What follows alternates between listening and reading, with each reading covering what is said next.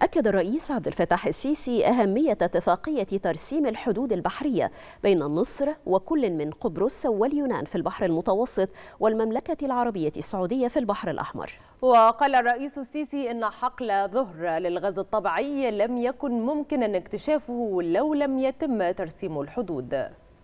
أنا بس عايز أقول نقطة هنا مهمة جدا لينا كلنا.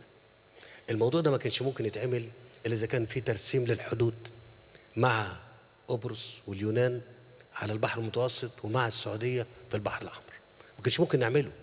ما كانش في شركات هتنزل تعمل تنقيب في المناطق دي إلا إذا كان عندنا ترسيم حدود. أدي واحد.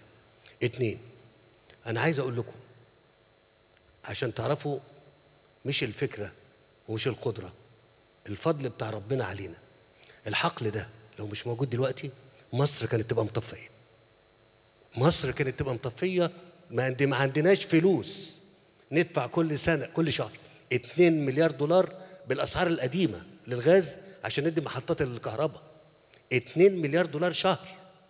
اللي لو بالأسعار الحديثه دلوقتي قد تصل ل 10 مليار دولار. يا دكتور يا طارق قول. كان يبقى 10 مليار دولار في الشهر أدفعهم عشان أجيب الغاز المطلوب لتشغيل محطات الكهرباء اللي موجودة في مصر عشان مصر تفضل منورة.